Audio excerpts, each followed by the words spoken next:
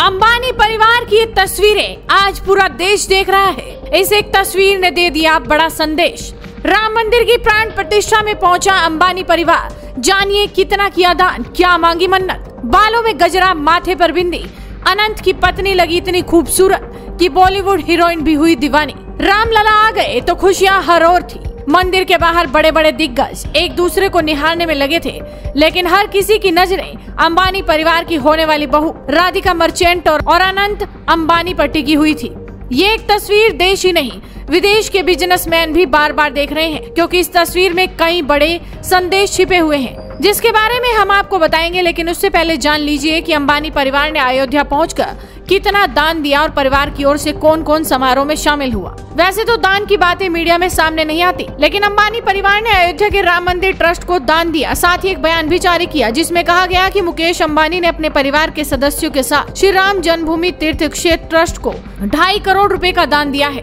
इस मौके पर मुकेश अंबानी ने कहा कि भगवान श्री राम आ रहे हैं। 22 जनवरी को पूरे देश में राम दिवाली होगी। उन्होंने कहा कि मैं एक क्षण का साक्षी बनकर सौभाग्यशाली हूँ। तो वहीं नीता अंबानी भी बोली पहले जय श्री राम। ये एक ऐतिहासिक दिन है। मुझे भारतीय संस्कृति पर गर्व है।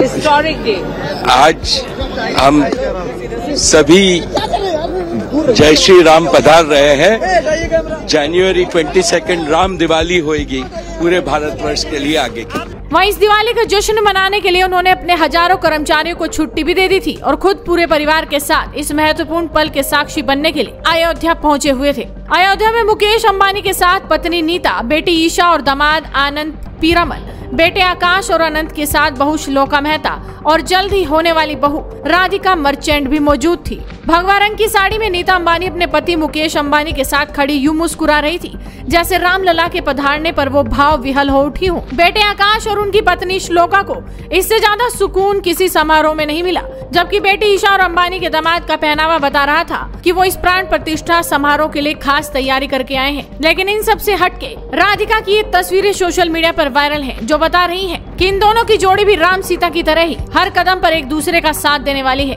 ये तस्वीर देखिए, पूरा अंबानी परिवार किस तरह से बगैर जूते चप्पल के खड़ा है और यही तस्वीर देखकर दुनिया सोच रही है कि भगवान धन देना तो ऐसे ही देना, आपकी भक्ति न भूलो। वही इन तस्वीरों में कुछ बड़े संदेश भी छिपे हैं, जो हम आपको बताते हैं। पहला तो ये कि अनंत अंबानी का दादा और पिता की राह पर चलते हुए अपनी संस्कृति को आगे बढ़ाने के लिए हमेशा प्रयास करना।